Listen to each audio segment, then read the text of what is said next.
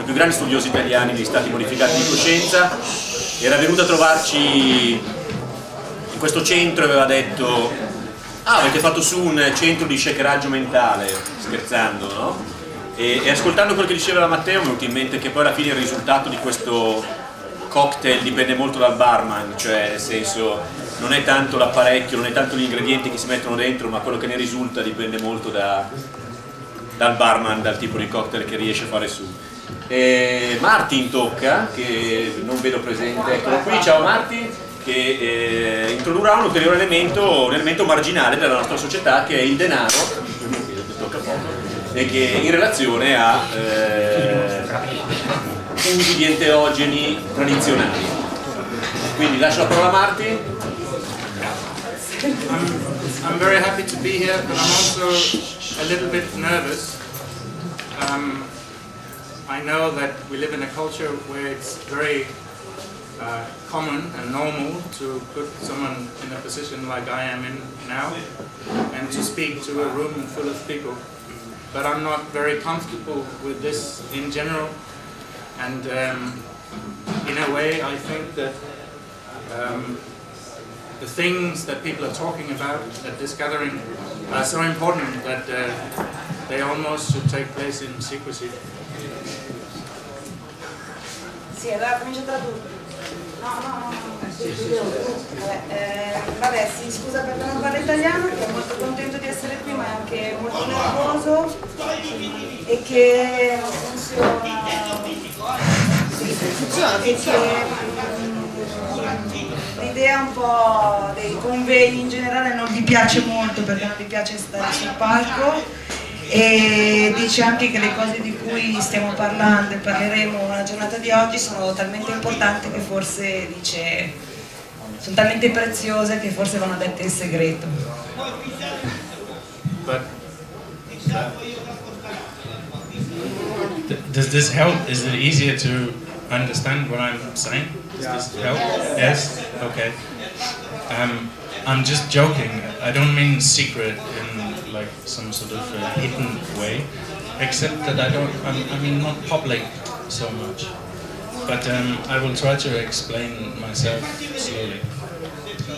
So the title is really just from that moment when I thought it was so very important that I was going to stand here and speak to all of you. So I thought, oh, this must it must have a title, something that says how important it is. So um, I'm not an expert on ayahuasca. I have very little power, and I have no money. So it's not really um, like I'm an expert on any of this. And the, the subtitle is even more ridiculous because really it should say it should speak of rejection of political economy of entheogenics. I think it needs to be removed maybe from these kind of discourses, or those discourses have to be, you know, changed so that they can actually really include these uh, cultural forms of uh, using entheogenics to um, relate in new ways. Beh, diceva, stavo scherzando sul segreto, ma dovrebbero essere il meno pubbliche possibile, spiegherò durante la mia presentazione il perché. Volevo spiegarvi il titolo e niente, ho dato semplicemente un titolo, cioè ho dato il titolo perché dovevo darmi un'importanza. Però io non sono un esperto in ayahuasca, il titolo è ayahuasca, potere e denaro. Lui dice non sono un esperto di ayahuasca, non ho nessun tipo di potere, c'ho pure pochi soldi. Ehm, e anche sul sottotitolo, ma questo non l'ho colto proprio del tutto, diceva che ruminations dovrebbe essere rejection o eh, dovrebbe essere rifiuto ehm, di una economia politica del, degli enteogeni e questo perché ehm, e questo perché non l'ho tanto capito. You have to explain why a rejection and not a ruminations Yes, so I hope that it will explain itself as I continue. Um, I hope that in the end I will get back to where we started, but it might be a little bit difficult to get there because I don't have like a fully formed thoughts about any of this. Um, I mean, um, these are all just, these words are sort of expressions of some of the thoughts that I have had um, in this context.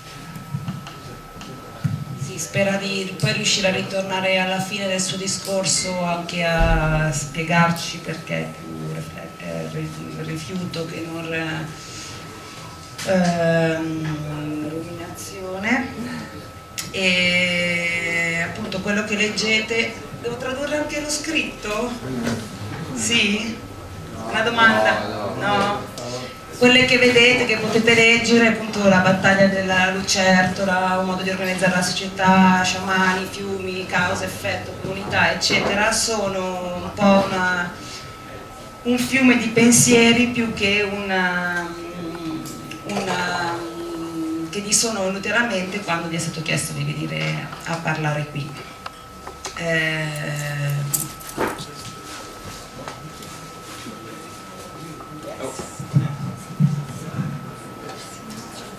So, um, the, in a way, I'm just um, telling a story or se- several stories from my experiences in um, Ecuador and Peru. And um, these three um, addresses are um, kind of where some of these ideas are, are first, where I first found them. It's not really very important. Um, but um,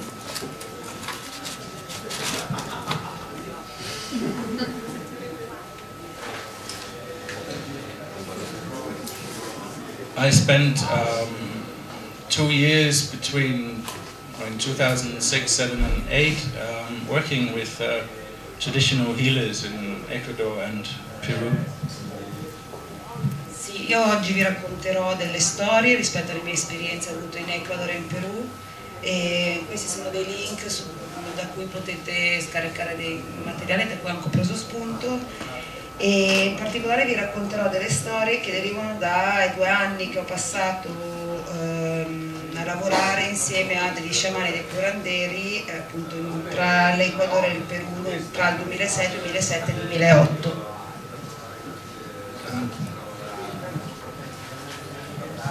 Um, the first thing that um, that I had to um, kind of um, respond to being in this situation, working with uh, traditional healers, was that they see the world in a completely different way. It's it's not uh, possible to simply translate small little everyday things from the everyday reality of um, people living in the Amazon and people living, for example, in Milano. Si dice la prima cosa che è importante riconoscere quando, cioè parlando anche della sua esperienza con i curanderi è che eh, non, non è solo una questione di tradurre le esperienze quotidiane che si possono avere tra i Napo dell'Ecuador o a Milano, ma è proprio eh, difficoltà sarà nel trasmettere proprio un modo completamente diverso di vedere il mondo.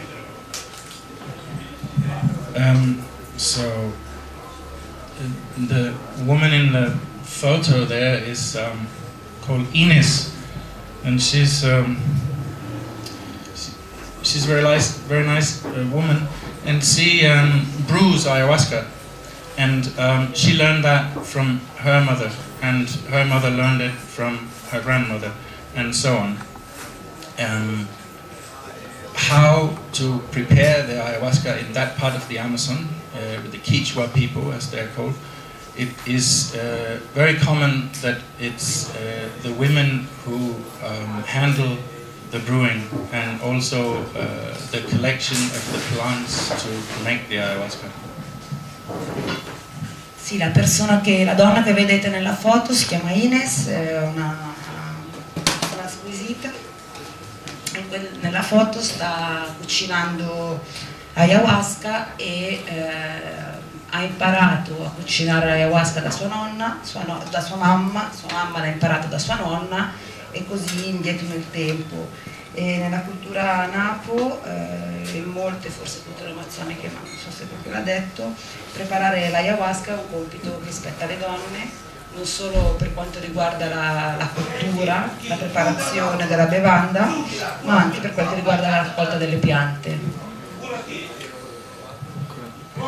So this means that um, the, the knowledge of um, making ayahuasca and the actual making of it is not something that uh, you can buy for money um, originally until uh, foreigners come, tourists and travelers who want to uh, acquire these skills. And um, that means that everything changes. When money enters, everything changes.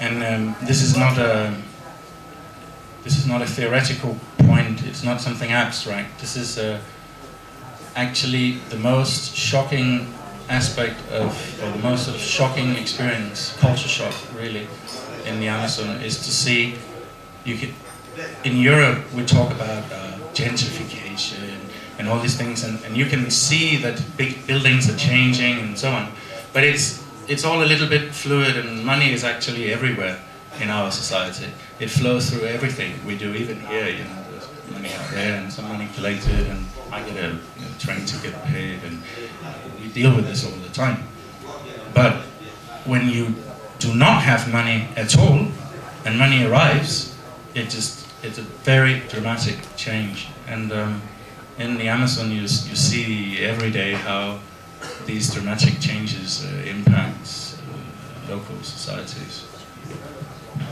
Si dice mm, che appunto il fatto di questa, di questa mm, ereditarietà nella conoscenza e nella preparazione dell'ayahuasca, diciamo, è una cosa che non si può comprare, ma non si poteva comprare diciamo originariamente, perché le cose sono molto cambiate eh, quando sono arrivati gli stranieri, i turisti, i viaggiatori e dice che tutto cambia in modo abbastanza radicale quando entra il denaro, quando arriva il denaro, entra in scena il denaro, cambia tutto.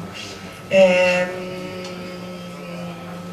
e lo dice eh, non in maniera astratta, teorica, ma dice proprio un cambiamento che è anche concreto ed è uno degli shock più grossi che ha subito, hanno subito le culture amazzoniche eh, è stato proprio quello del, dell'arrivo del denaro. Qui si parla di gentrification quando appunto nei quartieri eh, si costruiscono i palazzi, i quartieri cambiano, eccetera però in qualche modo è comunque una cosa che ci sconvolge, che porta a cambiamento nei contesti in cui viviamo, però tutto sommato noi col denaro ci abbiamo a che fare sempre, abbiamo a che fare qua in torchiera, al bar, eccetera. Eh, mentre quando non hai soldi e questo improvvisamente arriva, il cambiamento è, è molto più radicale ed, è, ed è, e impatta in modo potentissimo sulle società locali. Okay. So I just quickly return to the what I just said earlier, that um, it's a very different reality. So you have to, if you want to understand what's going on, you have to somehow let go of how you think reality is structured in in your own culture.